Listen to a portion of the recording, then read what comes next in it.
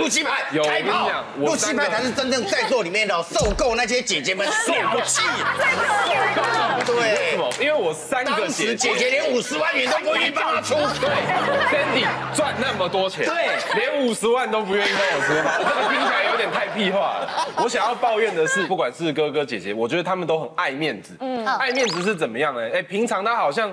家长一不在的时候，他好像突然变成总司令，变家长，成为哎弟妹什么状况？你们现在什么状况？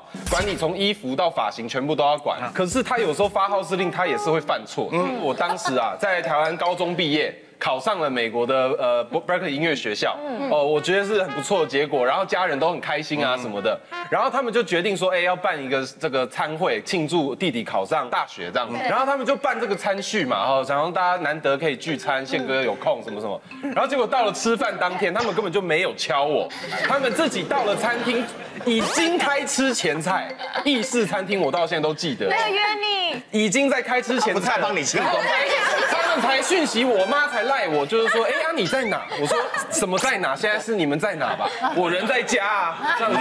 他们说我们我们对 我们在庆祝你考上美国大学，在吃饭呢。我说。什什么时候决定的啊？你们在哪？然后到了的时候，大家就真的就继续吃哦。第二道菜来了，然后就我其实心里是很不爽的，就是说今天是为我就是庆祝的餐会，然后你们自己开玩起来了。然后重点是当老大的大姐，她就自己她才会去主办这个餐会嘛。对结果她自己就是犯错没有敲我，然后一样也打啊，你赶快做啊，你自己拿来吃啊。没事一样，没事一样。我们做一点小事，弟弟妹妹做一点小事都被骂的哎，跟猪狗不如。致歉这样。对，没有致歉，猪狗不如被他骂的心对，这个很惨然后结果今天欸他出包就是哦没事，完全没事一样，这样我真的觉得当姐姐的检讨一下，检讨一下。好，我们请 Cindy 回应一下，来，Cindy 来。哦，他不想回应，不想回，他说不值得。你不屑啊。哎，呀，自欺也有苦啊我。真的觉得大姐就是最毒妇人心。因为最小的出生之后，他的爱全部被小的抢走了，所以你知道我姐姐是无时无刻想要把我杀死。你跟姐姐差几岁？差三岁四岁，哎，真的把你当小三。他真的想要把我雷死了。然后有一次我们就在房间玩玩玩，然后突然没有声音，我妈就很紧张，就想要去敲门，咚咚咚就门锁起来了。然后她就一直去找钥匙，然后说开门开门，死不开，然后也不讲话，都很安静。后来她去开门的时候，你看到那个画面，我妈吓死了。我姐姐拿着枕头闷着我的脸，然后她坐在枕头上面，啊，真的是要你死。她真的要我死。枕头一掀开，我的脸是黑的。哇！你们差一点就看不到我了。点就被上那个再上久一点的话，整个脸黑，那是要截肢对。还叫截肢吗？是中世纪的那种。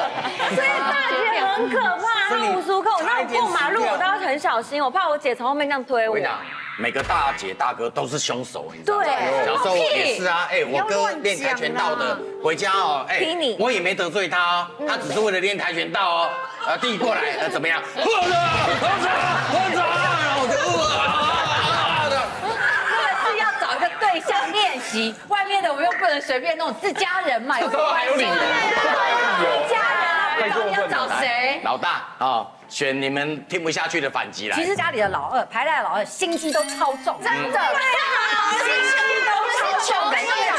因为我们老大现在有被妈妈盯着，对你们被我们盯真的还好，我们只有妈妈的一半不到。而且你要知道你们要不要试试看跟我们交换，被妈妈妈妈看？没错，而且你要所有听过这个台词，要不要交换？下面又是妹妹，说你所有的那些规矩都是我们先破坏后，你就很自然就可以跟着。你们只要把路说拓宽了姐姐还都是我们帮你们啊，的耶。你们两个可以分开讲吗？我们真的太生气了，你们怎么可以想说？珍妮，你有试着想要杀死过妹妹吗？没有，可是我想试着杀死弟弟。你看，你看，你看，好可怕！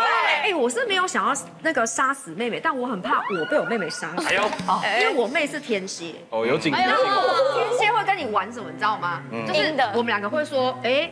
要抢玩具，那不然打一架。像我们这种事做，就是说，那打架赢了带走嘛，对不对？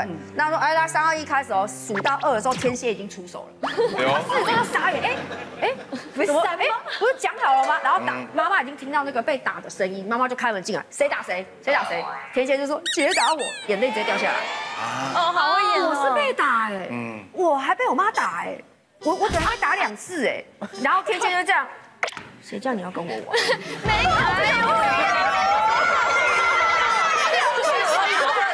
我觉得姐姐就是要让，关于他们刚刚对，但是个是个人问题，姐姐就是要让妹妹啊，因为姐姐其实受到谁说谁说大的一定要让小没有大的通常都是会让小的，真的，谁说都是，谁规定大的一定要让小？基本上都是父母规定。刚不断的强调说老大死不认错这件事情，如果你们要觉得我们身为老大，我们死不认错，就像我们老大也会觉得父母死不认错一样，那个心态其实是一样的。因为我们就是父母的一种投射镜，因为妈妈就是这样对我们，我们就转身这样的去对我们底下的人。确实，好像被说服，好像是是这样子，事实就这样，而且我而且我跟你们说哦，你们跟我们换，你们不见得扛得住哦，哎呀，我们不见得好哦。可怕。我！们听下来呢，哎，我们判定老大真理跟思佳讲的有道理，请回座。本来就是有道理。接下来请老二代表小柯还有方皮来接受审判，感觉这组会很惨。对呀，因为身为老二没有在对啊。啊，就他是们也无法反驳。爸妈也嫌，老大老幺也嫌，对不对？连我们的干冰都嫌，先喷一下好了，来。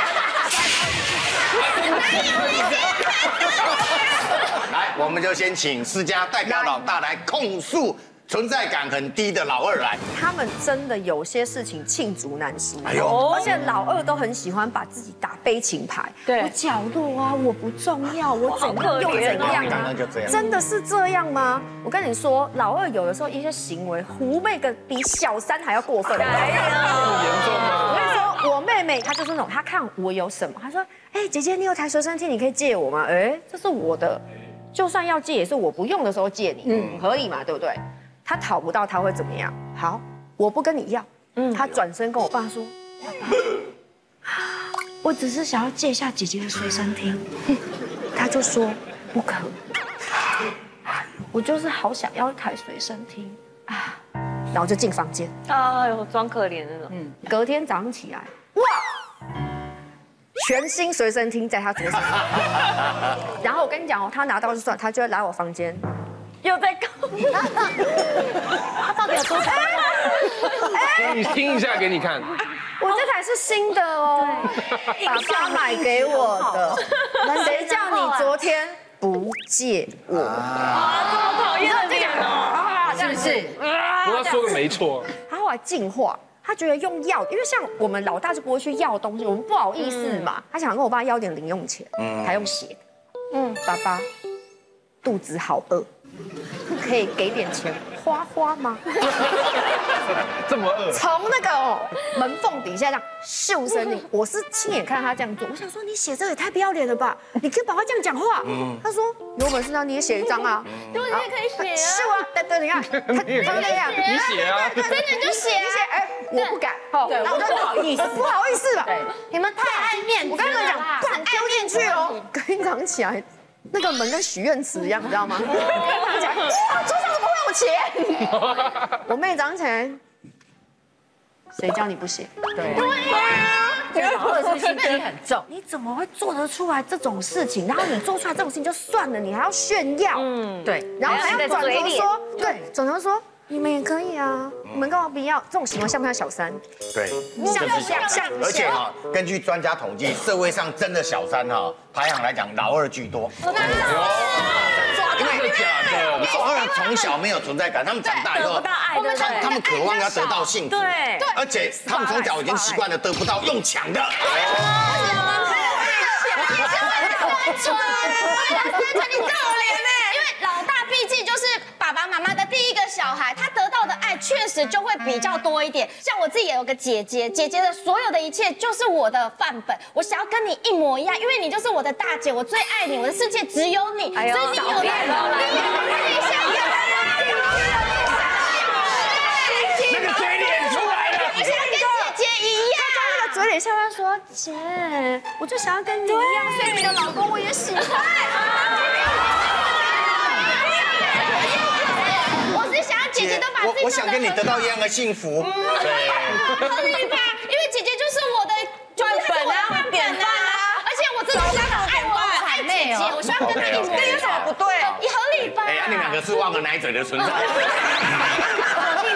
手机拿掉。真的越听越不是味道。我讲老二真的很讨厌，那因为我第二我下面那个不是妹妹是弟弟，嗯，那你知道弟弟就更可恶了，你知道吗？因为我们那个时代还有一点点重男轻女，哎呦你知道，所以其实弟弟生下来的时候，就大家关注都在他身上。那当然我也没有在跟他计较这些，可是你知道有时候难免会打架，因为他有时候看跟你讲话很没礼貌的时候，会觉得我是姐姐，你跟我讲话这么没礼貌，我就想打他头干嘛？只是这样拍他而已，我觉得没有怎样。他跟我说他流血破皮。